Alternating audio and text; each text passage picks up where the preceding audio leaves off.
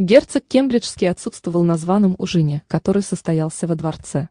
Там 37-летняя Кейт Миддлтон, Кейт Миддлтон, увлеченно побеседовала с 47-летним Джастином Трюдо, Джастин Трудоу. Кейт вместе с Елизаветой II и другими членами британской королевской семьи принимала гостей в Букингемском дворце.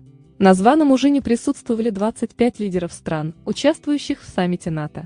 Герцогиня Кембриджская выглядела потрясающе в своем изумрудном платье от новозеландского дизайнера Эмилии Уикстед, Эмилия Викста, стоимостью 965 фунтов, 80 тысяч рублей. Она приветливо общалась с ведущими политиками и их женами. Однако самый долгий и приватный разговор у нее произошел с премьер-министром Канады. Миддлтон о чем-то увлеченно рассказывала собеседнику, активно жестикулируя руками. Джастин Тридо внимательно слушал герцогиню и беспрестанно улыбался. Поклонники Кейт выразили обеспокоенность, решив, что у ему вряд ли понравятся такие дружеские жесты с другим мужчиной во время его отсутствия. Принц сейчас находится с четырехдневным визитом в Омане и Кувейте.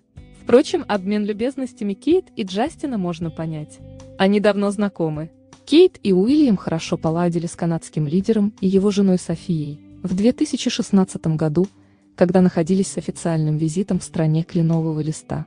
Тогда герцоги кембриджские в рамках королевского тура посетили Ванкувер и провели в компании Читы Трюдо несколько дней.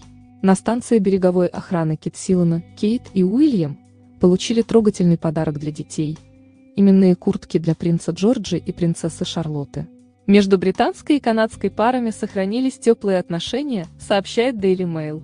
Эксперт по языку тела отметил, что в начале вечера Кейт выглядела немного одинокой и растерянной без присутствия рядом мужа.